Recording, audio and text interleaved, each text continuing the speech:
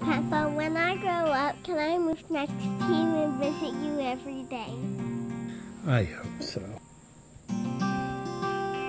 Kevin Carpenter, working to keep our kids at home and our families together. Paid for by Kevin Carpenter for West Virginia.